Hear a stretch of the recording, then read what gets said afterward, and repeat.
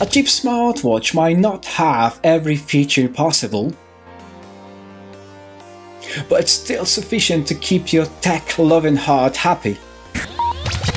Haylou RS4, the watch with an amazing AMOLED screen, also referred as the Haylou LS12, is a great entry-level smartwatch and the price won't break the bank. Welcome back, this is Adam and you're watching Family Pop TV YouTube channel. In today's video, we will put the newest Haylou RS4 into few real-life tests. I will challenge its heart rate accuracy, as well as SpO2 and step count accuracy. This is something I couldn't find in the other video reviews on YouTube. And I will check if it's really waterproof and will show you through its main features. I even traveled to eastern Slovakia to check how it performs during heavy physical activities such as chopping wood. So if you want to take a closer look at the RS4, stay with me. Haylou is the Chinese brand that's been growing in popularity and it's known for fantastic true wireless noise cancelling earbuds and affordable smartwatches, and brand that we immediately associate with Xiaomi. And that's right, because Li Sheng and Haylou became the members of Xiaomi ecosystem, and they are major players in the smart consumer technology industry in China. Inside the aesthetic looking box, we can find the watch itself, a manual and a warranty card, and the USB charging cable. Unlike the Haylou RT2, which I reviewed recently, the RS4 has a square design that looks very clean and elegant in black and it's suitable for both men and women and features a smooth 2.5D curved Gorilla Glass in the metal frame with a brushed finish it certainly doesn't look like a budget watch. The body is slim and light and made of high quality aluminium alloy which makes it lightweight at just 48.6 grams and therefore comfortable on the wrist. If we flip the watch, you can see the magnetic charging port to fuel up the smartwatch, and the two heart rate sensors and the infrared SpO2 sensor in the center. At the side of the watch there's one multifunctional button. The strap on the RS4 is made out of silicone, lightweight and comfy on the wrist for long-lasting use. Obviously, you can customize the look of your RS4 by replacing the 20mm bands of your choice. I personally like the magnetic straps or leather straps. There are Amazon links in this video description where you can find some good looking alternative straps for your RS4. My favorite part of Haylou RS4 is its phenomenal 1.78 inches 1000 nits AMOLED display with 368 by 448 pixels resolution the RS4 has the same display resolution as the display of the Apple Watch 6. However, the Haylou RS4 hasn't got an always-on screen, unlike the Apple Watch 6. Anyway, this is probably the best screen I ever seen in a budget smartwatch up to date, in terms of size, resolution and sharpness of the image and certainly puts into shame displays of any other budget watches in this price range. The brightness of the display is adjustable, it has 4 steps and to clarify, this is not an always on display as I said before, however it lights up automatically when you move your wrist up.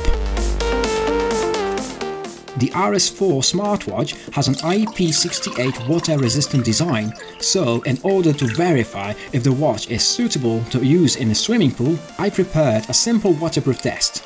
The RS4 is being submerged in the water for a couple of hours and we will see if it survives. As you can see the screen getting a bit crazy underwater, certainly the water interacting with the screen.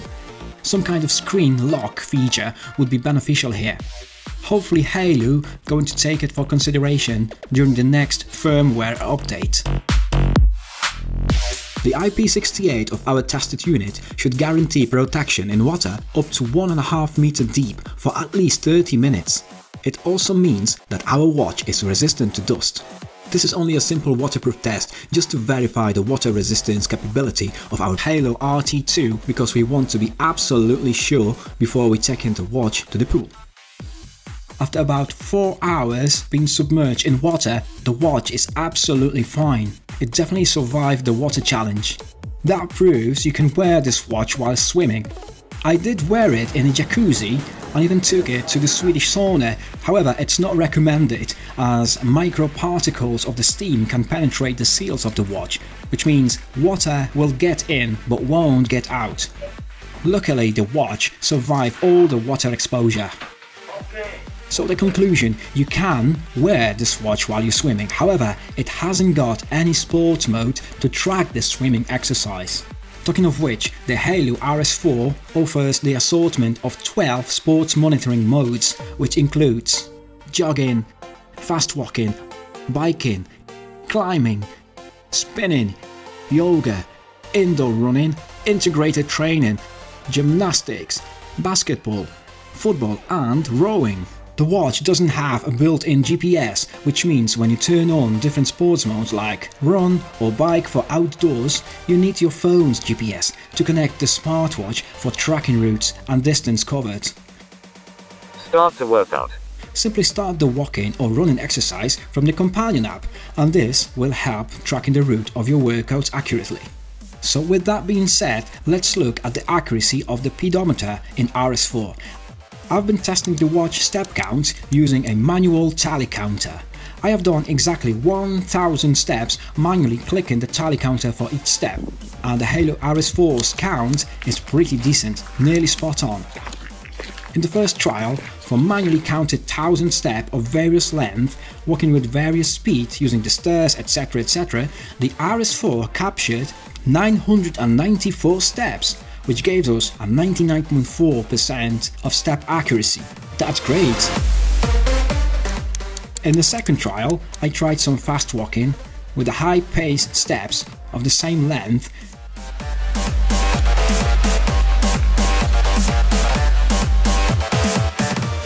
and the RS4 captured 997 steps and this gives us 99.7% of step accuracy. That's impressive. Don't forget, this is still an entry-level budget watch.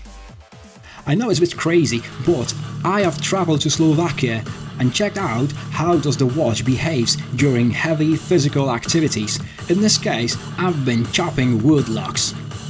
To measure it, I have chosen the integrated training exercise in around 12 minutes, I burned almost 100 kilocalories. So it's twice as much as I would burn during jogging or fast walking in the same time. Anyway, I really enjoyed this activity. The RS4 uses the Haylou Fun companion app that you install on your phone, which is where you set and control most of the functionality of your RS4. Haylou Fun app itself is a simplistic tool for tracking the activity and health stats. You'll have to scan a QR code with your smartphone to get to the Apple Store or Google Play as the app is compatible with both iOS and Android. Once the app is installed, make sure you got your Bluetooth turned on in your phone, but do not connect with the watch from the Bluetooth screen. You'll have to do it from the app. Click on Add Device, then click on Haylou RS4 then just confirm pairing request and allow the notifications, as this will push all the data from your phone into the watch. In the comments for our previous videos, some of you been asking, can I use the watch without a phone?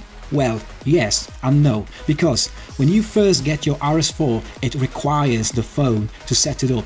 Once this is done, you might leave it connected so it will work as an extension of your phone. But you may also disconnect the Bluetooth, so when the watch will work as a standalone device, you won't get any messages, notifications, weather info and health stats, and the health and sports statistics will be reset on a daily basis as watch hasn't got enough storage to keep it in. By the way, the RS4 shows you all the notifications from the phone, for example SMS, social apps messages, info messages from the apps like YouTube, LinkedIn, TikTok, etc. The watch also shows you the incoming calls. However, you can't pick the incoming call as the watch hasn't got a microphone built in. You could only drop the incoming call. The main menu in the Haylou RS4 combines little icons and widgets, and the first icon is the daily sports stats, and the second icon is the heart rate measuring. The RS4 tracks the heart rate continuously 24 hours a day, but let's check out how accurate the heart rate and the SpO2 measurements actually are against the NHS approved medical pulse oximeter. In the first attempt, Haylou RS4 measured my heart rate as 75 beats per minute and the oximeter measured exactly the same value. Right, just to be sure, let's try it again. As you can see, both devices going head to head, giving us exactly the same measurements. Right, let's check it again, but this time I'll do some press-ups to raise my heart rate a bit. But remember, even if the readings are so close, don't forget the watch isn't a medical grade device, so these readings should be taken only as a reference. Here we go, RS4 measured 108 beats per minute and the oximeter measured 108, 109 beats per minute. That's fantastic. Okay, one more go.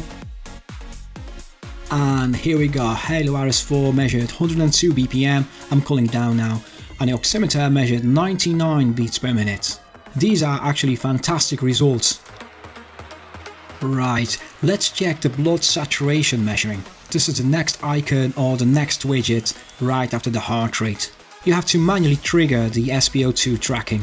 And here we got 97% of SpO2 on RS4 and 98% of SpO2 on the oximeter. Let's do it again. Right, and we got 97% of SpO2 on both devices. I'm totally happy with this. You can customize the watch faces or change built-in watch faces for the new styles. To create your own dial, you can use any photo or picture from your smartphone. Simply pick it, crop it, and select the best color of the font and it's ready to upload.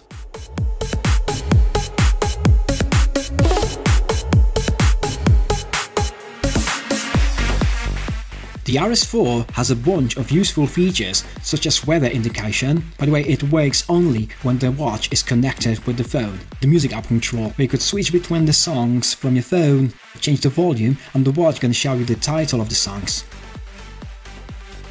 One or two minute breathing exercise which is nothing more than respiratory minute volume which helps to calm down and help to reduce the carbon dioxide levels within the body.